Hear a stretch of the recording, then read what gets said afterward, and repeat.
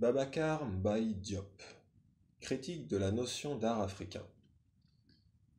Peut-on parler de continuité entre l'art de l'Afrique noire et celui de l'Égypte antique? Peut-on attribuer l'origine de la création artistique africaine à une origine étrangère? Peut-on réellement opposer l'art ancien à l'art traditionnel et à l'art contemporain de l'Afrique noire en s'appuyant sur le temps pour différencier les créations artistiques d'hier et celles d'aujourd'hui? L'ancien et le traditionnel ne sont-ils pas la mémoire du contemporain? Existe-t-il une esthétique et une critique d'art en Afrique noire? Comment lire et comprendre les arts négro-africains? La réponse à ces questions a amené l'auteur à déceler les faux discours qui ont alimenté l'étude des arts et de l'Afrique noire l'étude des arts de l'Afrique noire. Il se livre ici à une critique des différentes théories sur la notion d'art africain. Introduction. L'art africain est souvent classé en trois catégories. Les arts anciens, qui désignent les expressions artistiques antérieures au XVIe siècle, c'est-à-dire avant le début des contacts massifs de l'Afrique avec l'Occident. Les objets témoins de ces expressions sont le plus souvent révélés par l'archéologie, les arts traditionnels, qui désignent les expressions artistiques liées aux traditions, aux us et coutumes, tels qu'ils se manifestent autrefois et continuent de se manifester dans les sociétés africaines. Les arts contemporains, qui font référence aux expressions artistiques ayant pris naissance après la Deuxième Guerre mondiale, ces arts à la différence des arts anciens et traditionnels, ne relève pas d'une fonction religieuse ou sociale. Cette classification oppose ainsi l'ancien à l'art traditionnel et à l'art contemporain. En fonction, en s'appuyant sur le temps pour distinguer les créations artistiques d'hier et celles d'aujourd'hui. Mais ces repères historiques ne rendent pas compte de la continuité de la création artistique africaine, du rythme de la vie telle qu'elle est vécue en Afrique. Elle ne permet pas de poser l'identité plurielle dans la création artistique africaine. Par conséquent, les qualificatifs anciens, traditionnels, modernes ou contemporains que je convoquerai dans cette étude serviront donc uniquement à rejoindre des expressions conventionnelles. Le chemin le plus proche pour une première clarification de la notion d'art africain et, comme dans tous les cas semblables, que nous nous en tenions aux mots et suivions l'histoire du terme art africain, ainsi que l'histoire de la définition du concept que ce mot renferme. Beaucoup de noms ont été donnés à l'art africain traditionnel sans jamais parvenir à le définir. Communément limité aux sculptures en bois, plus rarement métal, produite en Afrique au cours des 9e et euh, au cours des 19e et 20e siècles, cette dénomination doit s'étendre aujourd'hui à l'ensemble des productions plastiques, toutes techniques confondues, qui ont vu le jour sur le continent africain au sud du Sahara depuis au moins le 8e millénaire avant Jésus-Christ jusqu'à la période contemporaine. Encore écartés de cette extension, les arts du Maghreb, comme ceux de l'Égypte ancienne et moderne, devraient sans doute être réétudiés à la lumière des nouvelles découvertes archéologiques. La métallurgie du fer s'est améliorée depuis l'Afrique centrale vers Méroé, puis vers l'Égypte. Beaucoup de traits de la civilisation égyptienne ne peuvent se comprendre si l'on méconnaît les caractéristiques des cultures de l'Afrique orientale et centrale. Les spécialistes de l'art ont souvent assombri l'origine des arts de l'Afrique noire plus qu'ils ne l'ont éclairci. Il est rare qu'ils nous aient transmis des faits précis concernant leurs origines, et lorsqu'ils l'ont fait, ils ne tenaient leurs informations générales que de deuxième ou troisième main.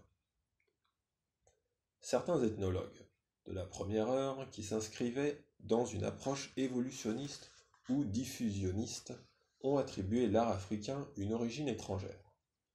Plus récemment, Sidney Littlefield Kashir, dans son ouvrage L'art africain contemporain, ne dit pas autre chose quand il écrit que l'art africain contemporain s'est construit en procédant à un bricolage des structures et des scénarios préexistants à partir desquels s'étaient constitués les genres précoloniaux et coloniaux plus anciens. Ce qui veut dire tout simplement que l'Afrique n'a pas de création artistique qui lui est propre. Pour quelqu'un qui veut donner à voir et à comprendre la légitimité artistique africaine, il m'a semblé donc nécessaire de revenir sur ces fausses affirmations et de montrer l'absurdité des thèses sur l'origine étrangère des arts africains. Que certains prétendent trouver en Occident ou en Orient le berceau des arts africains, c'est leur droit.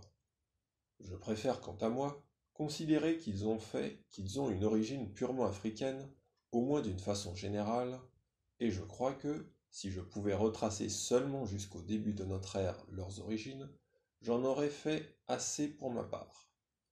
Car, affirmer ainsi, de but en blanc, qu'ils sont d'origine extérieure, c'est pour ainsi dire n'avoir rien établi, c'est vouloir tout simplement enlever à l'Afrique tout son patrimoine culturel. Puisque j'étudie les différents discours sur les arts plastiques de l'Afrique noire, il est nécessaire, en même temps, que de poser que de poser des problèmes que je résoudrai par la suite, de recueillir les opinions de mes prédécesseurs qui ont professé à son sujet, afin de tirer profit de ce qu'elles auront de juste et d'éviter ce qu'il ne l'est pas. Car on ne peut pas parler des arts de l'Afrique noire sans évoquer auparavant les tentatives qui veulent leur trouver des origines extérieures.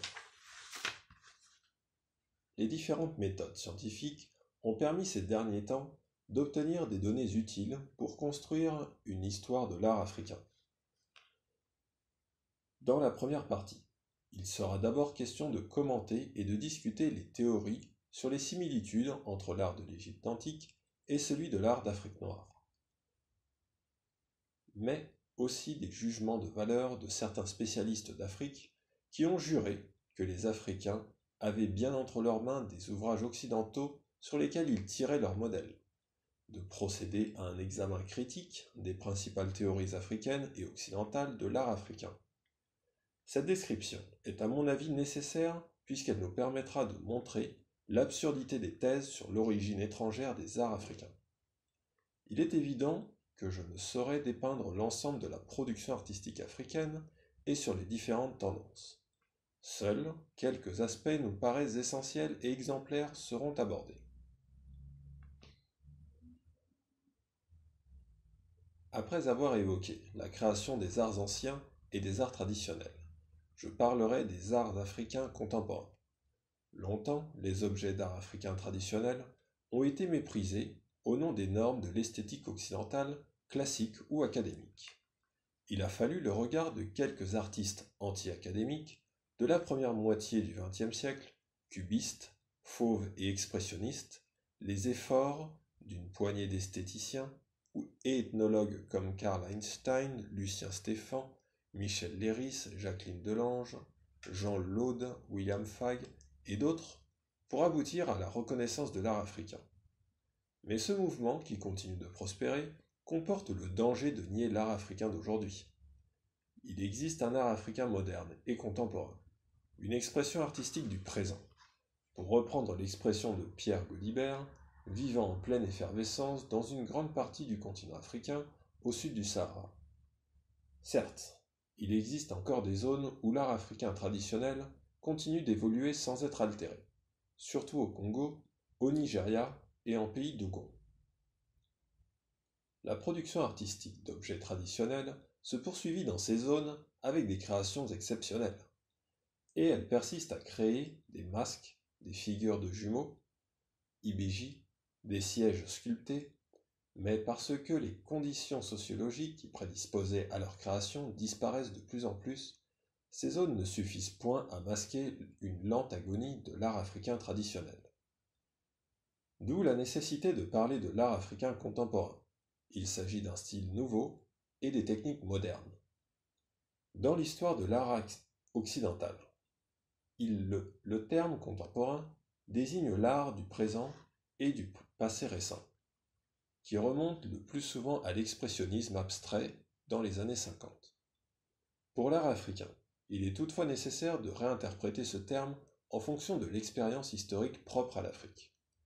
À la fin du XIXe siècle, une rupture majeure s'est produite dans la pratique artistique africaine.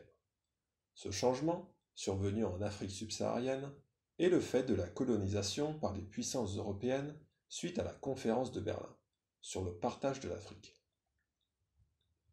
Si l'art africain traditionnel est bien entendu et bien étudié dans tous ses aspects, l'art africain contemporain au sud du Sahara est largement inconnu. Il est pourtant en pleine effervescence, aussi bien à travers ses expressions savantes que populaires, et dans de nombreux pays. En 1962, Jacques Maquet, dans Les civilisations noires, évoquait un art mouvant, vaste, plein de vitalité, et malgré les influences et les emprunts souvent originales. En 1967, Uli Beyer révélait dans Art et Nigeria, un art en pleine émergence dans ce pays depuis les années d'indépendance. Mais lorsqu'on parle d'art africain contemporain, on se demande souvent, avec un regard dubitatif, s'il existe réellement. Des auteurs comme Fag, en 70, parlaient d'indigence artistique pour décrire la situation présente. D'autres ont souligné la fragilité des créations plastiques nouvelles. Ainsi, en 65, Olas envisageait-il leur décadence imminente? Une décadence de cet art moderne est facilement perceptible et sa disparition semble prochaine. Ce qui, quarante ans après, est loin d'être vrai. Pour expliquer cette ignorance totale de l'art africain contemporain, le peintre sénégalais Papa Ibra Tal s'interroge en 75. Ne s'est-on jamais demandé pourquoi notre art ancien, sur quoi tout a été dit, continue à faire l'objet d'ouvrages de plus en plus volumineux et luxueux pendant que notre art actuel est entouré du silence le plus complet La réponse est facile. L'art ancien rapporte et l'art actuel dérange, par ses velléités d'autonomie. Des collectionneurs, des musées et des critiques toujours plus nombreuses s'intéressent davantage à l'art contemporain africain. Ils découvrent son intensité, sa beauté et sa force d'expression. Contrairement à l'art africain traditionnel, qui visait le beau à travers l'utile, l'art africain contemporain vise le beau en lui-même, le beau en soi. On passe de l'art fonctionnel à l'art esthétique. Les œuvres d'art africain contemporain, contrairement à celles de l'art africain traditionnel, sont créées pour être vues. Ce sont des objets d'exposition, c'est exactement ici que l'on peut réellement parler de l'art pour l'art. Car la production artistique a une finalité esthétique. L'art africain contemporain vacille entre l'imagination et la réalité. Son beau n'est pas inhérent au monde extérieur. Il n'est pas non plus objectif. Il réside dans l'âme de celui qui le contemple. C'est une réaction émotionnelle de la nature humaine, c'est une question de goût. Il me faudra, donner un bref aperçu sur la création artistique contemporaine en Afrique noire, plus particulièrement au Sénégal, et dégager les différentes tendances. Cependant, dans le cadre de cette présente étude, je ne peux entrer ici dans l'analyse de tous les discours sur la production artistique africaine contemporaine. Cet art est si divers et riche que ce travail ne peut être qu'une considération préliminaire. Je prendrai donc le parti de m'orienter vers ce qui fait l'actualité et qui fait l'objet de beaucoup de critiques, les arts populaires et les arts numériques. Parler de l'art africain, en le considérant comme exclusivement précolonial ou colonial, revient à nier les nouvelles formes artistiques du présent, du passé ancien et du passé récent de l'Afrique. Je tenterai d'établir une passerelle entre l'art traditionnel et l'art contemporain afin de marquer l'évolution qui existe entre ces formes. Non pas comme s'il s'agissait de deux choses totalement différentes, mais bien en évoquant une transformation progressive de l'une à l'autre. On désigne souvent par traditionnel et à tort tout ce que nous avons reçu de notre passé et moderne, tout ce que nous avons apporté de l'Occident. Si nous prenons comme tel la compréhension du traditionnel et du moderne, la rupture entre les arts traditionnels du passé et les arts modernes et contemporains de l'Afrique noire seraient radicales. Mais comme le souligne Abdou Silla dans Pratique et théorie de la création dans les arts plastiques sénégalais contemporains, la société africaine actuelle est une société en transition, et les efforts de modernisation tiennent compte et s'intègrent et intègrent les traditions. Les différents arts, tels que le théâtre, la peinture, l'architecture, révèlent des échanges et des emprunts, à la faveur desquels la tradition se modernise, tandis que la modernité est africanisée. La plupart n'est donc pas radicale, la rupture n'est donc pas radicale dans les arts africains contemporains, comme la continuité n'est pas absolue. L'attachement et la fidélité au passé n'excluent pas le renouvellement et l'enrichissement. Et ce qui s'est passé en réalité au Sénégal en fournit une preuve. Dans ce pays, les artistes se sont toujours appropriés les éléments culturels traditionnels en même temps que les apports de la modernité et des autres peuples.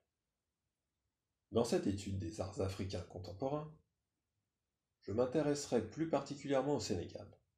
Des pays comme le Ghana, le Nigeria ou l'Afrique du Sud ne seront pas pris en compte même si ces derniers ont un retentissement sur l'art contemporain, notamment par le biais du développement des collections privées. Des recherches complémentaires seraient nécessaires et nécessiteraient d'autres orientations vers des domaines que les limites de, mon travail ne permettent pas d'entreprendre. Cette étude n'est donc pas exhaustive. Aussi consacrerai-je la deuxième partie à une critique des différentes lectures des arts négro-africains. Je négligerai ici les différents contextes à l'intérieur desquels les méthodes d'interprétation des arts africains ont vu le jour, pour n'envisager que leur teneur spécifique réelle. C'est la discussion critique de celle-ci qui doit nous conduire au fait que l'art africain peut seulement être appréhendé dans son contexte culturel et que l'intention esthétique peut être déduite de l'existence d'ornements sans fin utilitaire sur le contour d'un objet. La discussion de la question de fond, du sens de l'art africain, recouvre l'ensemble des problèmes interprétatifs du concept d'art africain. Les arts africains ont suscité de nombreux travaux, de l'ethnologie et de l'ethnoesthétisme, de la période coloniale à nos jours, beaucoup d'études ont été réalisées. Une esthétique et une ethno-esthétique de l'art africain ont été créées. Puis, une esthétique nouvelle apparaît dans les années 30 à 70 en Afrique, ayant le projet d'étudier et de faire connaître l'art africain contemporain. Il s'agit ici de faire le bilan de cette réflexion critique d'environ un siècle sur l'art d'Afrique, qui a suscité beaucoup de controverses. Je passerai brièvement en revue quelques-unes des plus célèbres théories esthétiques africaines existantes, afin de voir si elles comportent des énoncés corrects et adéquats sur la nature de l'art africain.